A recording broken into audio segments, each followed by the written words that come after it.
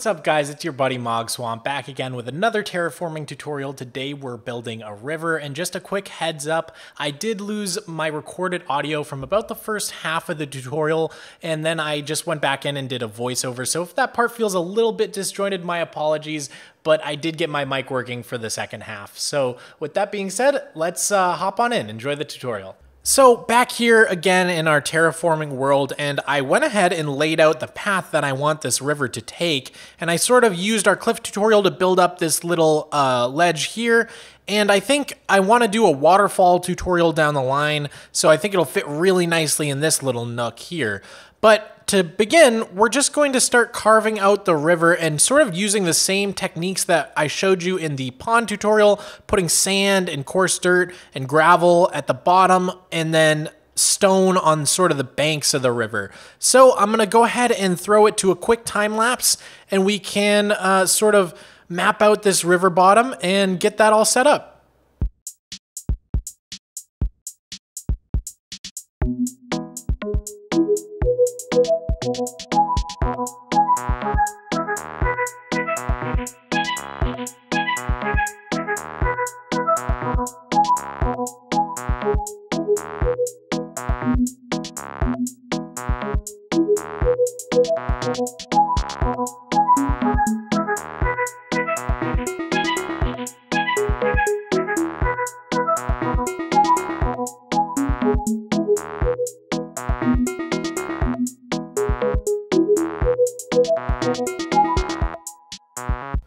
So as you can see, I've gone ahead and gotten all the sand and gravel, coarse dirt, etc. laid down on the riverbed and built up the banks a little bit. But something I forgot to mention in the pond tutorial is uh, mossy cobblestone.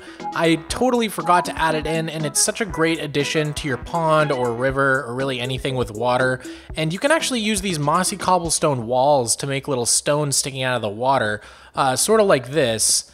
Maybe that's not the best place for one, but something like this where it just sort of sticks out of the water and looks a little bit like a stone peeking out, uh, especially when you look at it from above. I think that looks really cool. So let's just go along the bottom of our riverbed here and add in some mossy cobblestone slabs as well. They're just another great way to add a little bit of variation to the blocks on your riverbed. And uh, it sort of looks like stones at the bottom of the river with algae growing on them. I think it works really well. So with all that done, I'm just gonna go ahead and knock down this wall to our pond here and the water's gonna come rushing in, that's okay. I just wanna sort of blend this transition from the river into the pond a little bit. So we'll just go replace all the blocks around here and sort of make it as smooth as we can.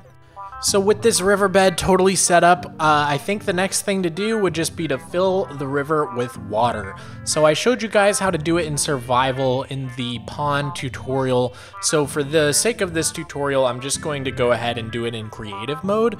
Uh, but it, the same rule still applies where we want to go from the lowest point up to the highest point of the river and start filling in that way. As you can see, we've got the first two layers of the river all filled up. So now we get to the part where the water is actually going to be left sort of flowing, uh, where we have these elevation shifts. So sort of like you're seeing there, we want to have the effect that the water's uh, like running downhill, uh, which gives a really cool effect to your river. It's just it's just a lot less boring than having a flat river. And uh, you can just sort of keep extending this, and I think Right about there looks pretty good. And sometimes when you're doing this, you'll notice that you just sort of accidentally end up spreading the water a little further than you want it to go. So what you can do is just get any sort of solid blocks and uh, just start almost like erasing the water on that level. And if you get rid of enough of these source blocks, um, you'll be able to sort of push the water back a bit. Let's see if I can pull that off here. So we've covered up all those source blocks, and now when we get rid of these stone blocks, uh, the water is pushed back a bit, and I think that looks a lot better. So you may just have to do that once or twice if you accidentally spread the source blocks a little too far. So again, we're just going through and sort of placing the water down and trying to experiment, I guess you'd say, until we find something that looks nice. A, a good pattern for the water to be flowing in to where it looks like a very natural flowing river. So, believe it or not, that's pretty much the main river done, but since this process was very, very similar to our pond tutorial that we did, I figured I would sprinkle in some of the tips and tricks that I missed in that video, because there were a few. And the first one I want to show you guys is these cattails or bulrushes, whatever you want to call them. It's a lime stained glass pane and a brown candle, and these things just look so, so cool. You're going to want to make sure to place them in a spot where they're not going to connect to anything, so they can't connect connect to that stair block there, so this is a perfect spot. And you can just build it up a couple blocks and put that brown candle on top. It looks like such a natural water plant, and uh, you can tell what it is right away. And oh God, I just, I cannot tell you enough how much I love these things. I think they really add so much to your terraform. Ah, just look at that. It's so, so cool. And don't forget to start sprinkling in some of these mossy cobblestone walls into here as well. Uh, they just kind of look like little stones popping up and uh, well that's not connected to the bottom but uh, we can sprinkle them here and there like here is a perfect spot. And it doesn't actually matter with these if they are connecting with the block next to them because you'll notice that the part that connects is actually underwater a little bit so you don't see it from above. So they still look great. And you can even have them sticking up a block like that, maybe a few blocks, um, and maybe along the sides of your river, down where it gets a little bit more cliffy as well. I just think that looks really, really cool. So we're gonna wanna go ahead and get the podzol rooted dirt and coarse dirt around the banks of the river just like we did with the pond, but something that a viewer commented on that I missed is you can use a shovel to create these path blocks which also look really nice and add a lot of variation, especially because they actually uh, sink into the ground like a pixel there, which just adds that little bit more extra bit of depth to your, uh, to your build. So I would just go ahead and sprinkle in some of the path blocks around. It gives it a really muddy, earthy look, and I, I just love how that looks. So th thank you for commenting on that. Now there were also some plants I missed in the pond video, including the ferns and all of the tall flowers. I just sometimes forget about them because I do not have access to the tall flowers on my flat world, so I never get to build with them, so it's kind of just like out of my mind. But these can look really nice. It's a great way to add little pops of color to your cliff, so I would definitely go through and sprinkle those around. They look very beautiful. And it's the same thing with these ferns. They they they really just spruce up your ground, uh, add a little bit of variation to the grass that you have here and there. And yeah, I definitely recommend mixing those into your foliage as well.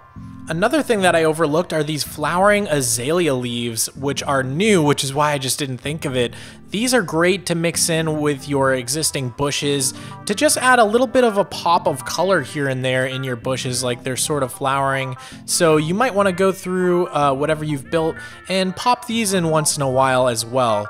I just think it's a really, really nice effect.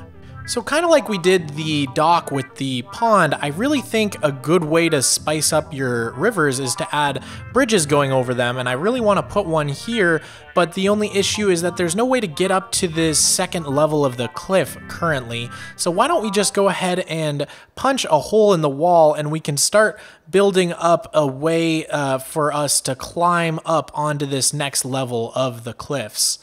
So we're just gonna go through with some mossy stone bricks, regular stone bricks, and some mossy cobble, and try and make the most natural shaped staircase we can. We sort of want it to look uh, like carved into the cliffside here, so maybe it curves around a little bit, and uh, we can sort of do a gentle slope. We wanna be able to walk up it, but at the same time, we don't wanna cut in too far to our beautifully terraformed cliffs here, so we'll try to strike a balance and get a nice slope going. This is looking pretty good here, so let's just pop down and give it a walk. Yeah, feels nice to walk up. You don't have to jump at all at any point, and we get to this nice second level here. So I'm pretty happy with that. So let, let's move on, and uh, now that we have that, we can build our little bridge. All right, let's go ahead and get this bridge in. I've already put down the supports here, and this is a design I think I saw on Instagram once, and uh, apologies, I don't really remember who I saw the the design from. Uh, it's just kind of something that I kept inside my brain. But uh, we're gonna go ahead and come across with these fireplaces and put those out. And then this is a really cool trick. I don't know if you guys know about this, but when you put fence gates onto cobblestone walls, they actually go lower than they normally would be. So you can do a third one in the middle and it sort of makes like a nice little arch shape. So we'll go ahead and do this on all four sides. And then we can go ahead and build up the uh, bridge a little bit and we're gonna put a roof over the top of it, which I think looks really nice. So I'm just doing a fence and then a fence gate. Oops. And then another fence. And then I think it's nice to just hang some lanterns on each side so that you get a little bit of light as you're going across your bridge here. And then uh, we can go ahead and put some campfires all along the top, just like this. And same thing on this side. And then let's just go ahead and get a stair block on each side. And we'll connect those stairs in the middle with some upside down half slabs, just going across the top like that. And that's pretty much our bridge. I think that looks pretty nice. And the more I look at this, the more I think we might just want to knock out these middle supports. I usually put them, but it's a little too tall for them, I think, in this uh, part of the river, so it looked a little awkward to me. And this looks like it would be supported just fine, I think. And just to decorate the entrance to our bridge a little bit, I'm gonna try out a little trick I saw recently on Reddit that I've been meaning to try. So we're gonna do some terracotta, we'll build up with the flowering azalea leaves and then knock out that one, put down a item frame and a bush, and it just sort of looks like a larger flower pot. So this is sort of coming out of the flower pot. I really like, oops, I really like the way that looks. Just to match it, let's put a little smaller flower pot next to it with the azalea bush. Yeah, that's really cool. It's like you have the, the mama and the little plant. I like that. Uh, I just realized we haven't looked at the river at night yet, so real quick, let me set the time to night. And we're just gonna wanna sprinkle in a sea pickle here and there to make sure the bottom of our river is nice and lit up. Just like we did for the pond. Great, now this is looking sweet even at night.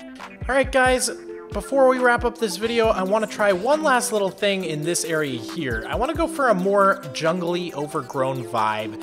And a good way to do that is just by mixing in granite and uh, polished granite and jungle planks all together and just it gives it like this really warm earthy sort of tone and I think if we pull it off just right it's gonna be a really cool effect. So let's just start sprinkling this stuff in here a little bit. Even put jungle trapdoors every so often and just really get kind of crazy with it. I know it seems really weird when you first start doing it, but I do think it comes out pretty well. Another block that sort of mixes in well here is uh, actually brown concrete powder. Uh, it's sort of like a brown sand, and it's just sort of another one of those muddy textures to start mixing in. And uh, I actually think it can be pretty cool looking if you pull it off just right. Great, so I've built up a little pile of these blocks, and I know it looks kind of super weird, but I've begun to border it with moss here, and we're just gonna go in and start going kind of crazy with uh, all of our uh, leaf blocks here and just sort of sprinkling all of these in and around it. And I think it's just gonna kind of give it like a, almost like a termite mound effect where you've just got like a crazy amount of greenery and, uh, and dirt piled up into this like cacophony. And we're definitely going to be sprinkling in uh, the occasional oak leaf. I don't think the spruce leaves work for this, so I'm not going to really bother with those. Yeah, guys, I think this is actually looking pretty freaking cool here, and maybe we can go in and add like one or two uh, taller little bushes here just with our fences and uh, just sort of cover them with leaves like I've shown you in the Cliffs tutorial and uh, just make some organic shapes with it and get a little weird with it. Basically what I'm trying to, the point I'm trying to make with this little part is just that you can use blocks that you don't normally use for this stuff and a lot of times it just kind of works out. Like in the end it's just more about like the color than it is about the individual blocks themselves. So this ends up just sort of blending in to be more of a jungly little bush heavy area that I think really complements our river. So that's sort of what I was trying to show you with that part. Uh, maybe it got a little abstract there in the end, but I think that came out really cool. And I think if you put a big cliff behind this, it would look even better. But guys, I'm pretty happy with this river. Um, I'm very excited to do a waterfall to go with it in a future tutorial but I think that's all I have time for today. So uh, if you enjoyed this tutorial, please feel free to leave a like on it. Leave a comment down below. I love hearing your suggestions and ideas for other things to add to this. And uh, subscribe if you're interested in seeing the rest of the series.